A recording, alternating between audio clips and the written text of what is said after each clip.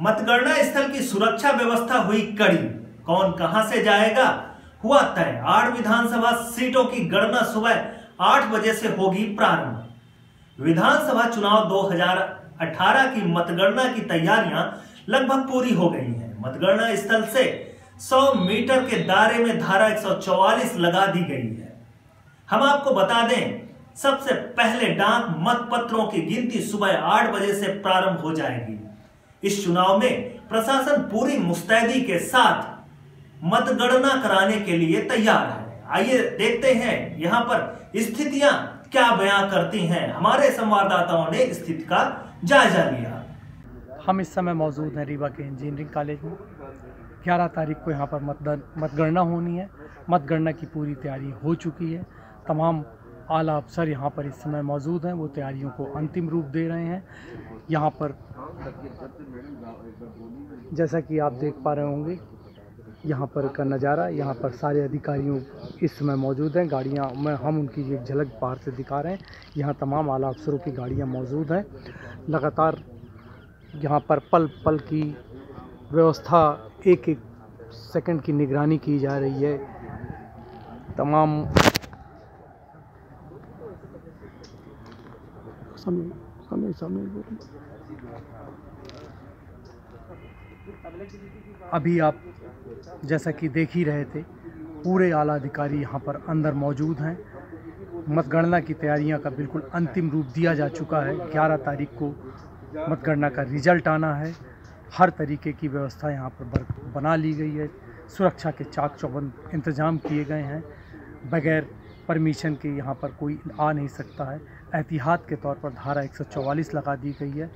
यहाँ पर 144 का मतलब है, ज़्यादा तादाद पर पाँच या पाँच से ज़्यादा लोग वैसे भी इकट्ठा नहीं हो सकते हैं। तमाम सुरक्षा व्यवस्था को ध्यान में रखते हुए तैयारियाँ की गई हैं। 11 दिसंबर को मध्य प्रदेश में विधानसभा के मतगणना होनी है। मतगणना को लेकर रीवा में भी जिला प्रशासन ने जो है पूरी तैयारी कर ली है। इसके लिए अलग अलग बैरिकेड्स बनाए गए हैं। मीडिया कर्मी, प्रेक्षक और जो विधान विधान जो प्रत्याशी हैं, उनके एजेंटों के लिए भी अलग से बैरिकेड बनाए गए हैं। हम अपने कहेंगे कि इधर से जो प्रवेश करेंगे और मीडिया कर्मी और प्रेक्षक जो है यहाँ से आएँगे। इसके बाद जो है गेट नंबर चार और एक से जो है अभ्यर्थी, एजेंट, दो से मीडिया कर्मी प्रवेश करेंगे।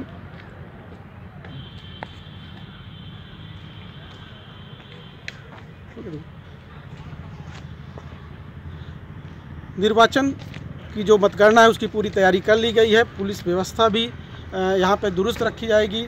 चारों तरफ़ से जो है बैरिकेड्स लगा दिए गए हैं। पुलिस यहाँ पे सुरक्षा पे रहेगी, क्योंकि भारी तादाद में जो है, जो प्रत्याशियों के समर्थक है, वो भी रहने की उम्मीद है। इसके अलावा कलेक्टर जो है, इस समय यहाँ पर पहुँची हुई हैं। वो अंदर जो है, व्यवस्था की पूरी तैयारियों का जायज़ा ले रही हैं। नगर निगम के भी अधिकारी हैं। एसपी भी यहाँ पर मौजूद हैं। आइए हम आपको और भी दिखाते हैं आगे क्या यहाँ पे व्यवस्थाएँ की गई हैं जिला प्रशासन के द्वारा। मतगणना को लेकर यहाँ से प्रेक्षक जो है प्रवेश करेंगे। साथ ही मीडिया कर्मी भी यहाँ से प्रवेश। सबसे बड़ी बात है कि इस दौरान जो है पेन और डायरी के अलावा कोई भी कुछ नहीं ले जाएगा। रीवा दर्शन के लिए इंजीनियरिंग कॉलेज से सुरेंद्र तिवारी। जैसा कि आप मेरे पीछे देख पा रहे हैं मतगणना के दिन के लिए बाहर से किसी भी तरीके का कोई भी आदमी नहीं आ सकेगा। प्रशासन ने कुछ इस तरीके की व्यवस्था की गई है कि यहाँ पर अंदर जो भी लोग उपलब्ध होंगे, चाहे वो मतगण, मत, मतगणना करने वाले हों, एजेंट हों, मीडिया कर्मी हों, अधिकारी कर्मचारी हों, सबके खाने पीने का इंतज़ाम भी प्रशासन ने यहाँ पर कर रखा है। मैं एक बार आपको फिर से दिखाना चाहूँगा। मेरे पीछे आप देख रहे हैं, यहाँ पर खाने पीने की व्यवस्था तब नगर निगम प्रशासन अपना करने जा रहा है। पानी का इंतज़ाम उसने कर लिया है। उसी के साथ खाने बनाने वालों की भी व्यवस्था की जा रही है और उनके लिए तत्काल हर तरीके की वो सुविधा प्रशासन यहाँ पर उपलब्ध करा रहा है, जिससे बाहर से न कोई आ सके, न अंदर से कोई बाहर जाए। उसको किसी भी तरीके की यहाँ पर कोई भी व्यवस्था बाहर जाने के लिए ना करनी पड़े। हर वो उपलब्ध सामान जिसको अंदर ज़रूरत पड़ती है, व्यक्ति को यहाँ पर उपलब्ध कराया गया है। रीवा दर्शन के लिए मैं जावेद हम आपको बता दें 11 तारीख को रीवा ज़िले के एक प्रत्याशियों के भाग्य का फैसला होगा जिसमें प्रमुख है प्रदेश के उद्योग मंत्री राजेंद्र शुक्ल जिला पंचायत अध्यक्ष अभय मिश्रा गिरीश गौतम सहित अन्य प्रत्याशियों की दावेदारी यहाँ पर मज़बूत स्थिति में दिखाई दे रही है। हम मौजूद हैं इंजीनियरिंग कॉलेज। यहाँ पर मतगणना की तैयारियाँ पूरी हो चुकी हैं। 11 तारीख को मतगणना होनी है। जैसा कि आपको मालूम है, पूरे प्रदेश के साथ रीवा में भी 28 तारीख को चुनाव हुए थे। चुनाव के बाद इसी जगह पर ईवीएम मशीनों को इकट्ठा करके रखा गया था। मैं आपको बता दूँ, यहाँ पर आठ विधानसभा की मतगणना होनी है। यहाँ पर जैसा कि आप देख पा रहे हैं तमाम तरीके के इंतज़ाम पूरे किए जा चुके हैं। आला अफसर यहाँ पर मौजूद हैं। वो तैयारियों को अंतिम रूप दे रहे हैं। जैसा कि आप अपने स्क्रीन पर देख पा रहे हैं, यहाँ की व्यवस्थाएँ सुरक्षा के लिए चाक चौबंद इंतज़ाम किए गए हैं। किसी भी तरीके से अप्रिय स्थिति से बचने के लिए प्रशासन ने पूरी तैयारी कर रखी है। जगह जगह बैरिकेड्स किए गए हैं। बैरिकेड्स इस तरीके से बनाए गए हैं कि किसी भी हालत में कोई भी अप्रिय स्थिति होने पर प्रशासन उसको तत्काल अपने नियंत्रण में ले सके, किसी भी तरीके की अप्रिय स्थिति से पार पाने का प्रशासन ने पूरा इंतज़ाम कर लिया है। जगह जगह बैरिकेड्स हैं, जगह जगह यहाँ पर अभी पुलिस नहीं तैनात की गई है। सुरक्षा अभी एक दिन बचे हुए हैं। कल यहाँ पर जगह जगह चप्पे चप्पे पर पुलिस मौजूद होगी।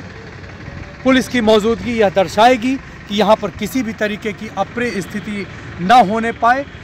यहाँ पर दो अभी स्क्रीनों भी लगाई जाएँगी। जिन स्क्रीनों पर लगातार लाइव उस पर प्रसारण किया जाएगा, किस प्रत्याशी को कितने वोट मिले हैं, जिस तरीके से वो यहाँ पर कोई अप्रिय स्थिति ना हो, दूर खड़े होकर भी वो अंदर की वहाँ क्या हो रहा है, उसकी पूरी जानकारी प्रशासन ने बाहर वालों को भी देने के लिए तय कर ली है।